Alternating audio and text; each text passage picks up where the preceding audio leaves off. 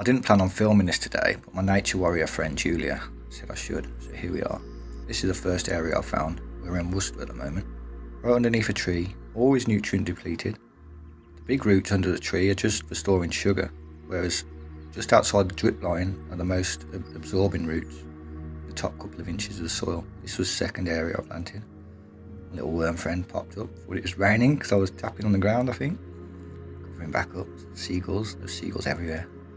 They've eaten him. Right by the River Severn I was. Of Worcester. Beautiful place. River's about to pop again. This is bad tree pruning. I'm going to do a thing on tree pruning. They're heading cuts. Anyway, headed to my town, Droitwich. If you want to attract ladybirds, marigolds. I love eating the aphids. That was my second area I planted. Not that much soil. This is outside Waitrose. I asked the security guard who owned the land, the council, so up.